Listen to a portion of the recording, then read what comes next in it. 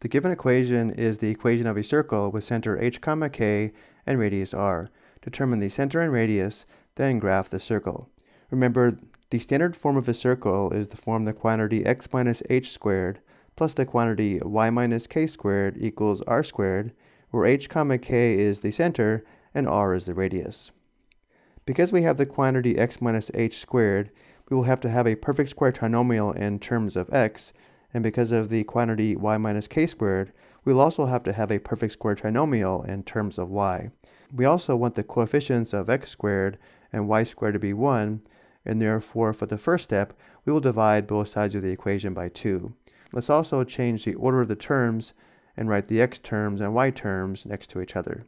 Let's write the equation as 2x squared plus 16x plus 2y squared minus 12y plus 18 equals 0. And now to make the coefficient of x squared and y squared 1, we will divide both sides of the equation by 2. This will create an equivalent equation where the coefficients of x squared and y squared are 1. Notice on the right side of the equation, 0 divided by 2 is still 0. And on the left side, we divide each term in the numerator by 2, which gives us x squared plus 8x plus y squared minus 6y plus 9 equals 0. And now we'll set the equation up to make a perfect square trinomial in terms of x and in terms of y, we will also move the constant to the right side. Let's write the equation as x squared plus 8x plus a constant that will make this a perfect square trinomial in terms of x and then plus y squared minus 6y plus another constant that will make this a perfect square trinomial in terms of y, and then we subtract 9 on both sides, and therefore this is equal to negative 9. And now to make a trinomial with a leading coefficient equal to 1, a perfect square trinomial, we add the square of half of b to both sides of the equation, where b is the coefficient of x here, and b is the coefficient of y here. So notice when b is positive 8, half of b would be half of 8 or 4, and 4 squared is equal to 16. So we add 16 here to make the x part a perfect square trinomial, but to maintain the equality, we also must add 16 to the right side. And now looking at the y part, notice b, the coefficient of y is negative 6. When b is negative 6, half of b is going to be negative 3.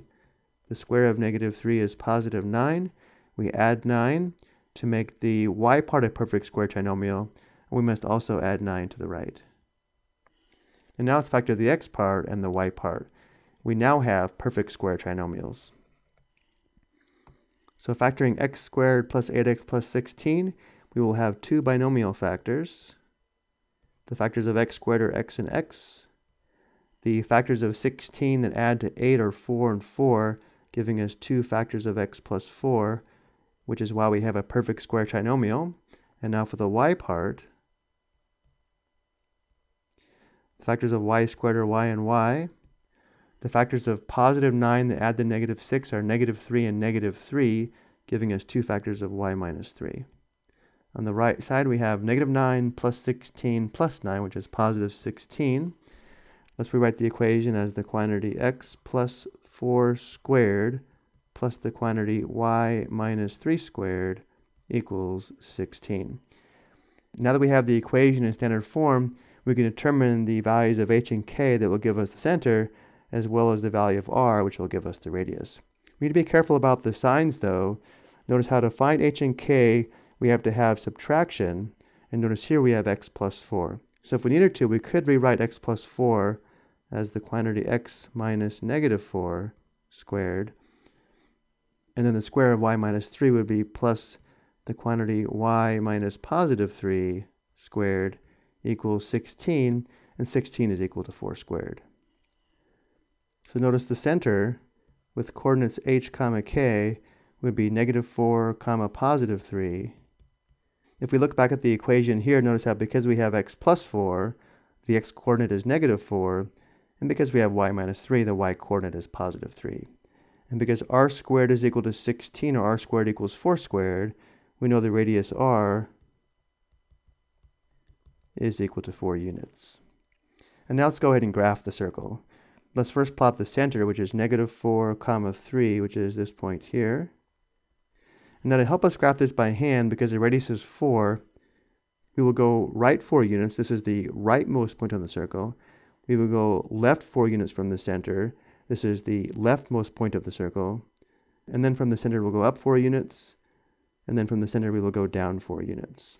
Using these four points on the circle, we should now be able to sketch a nice circle. The graph of the circle looks something like this.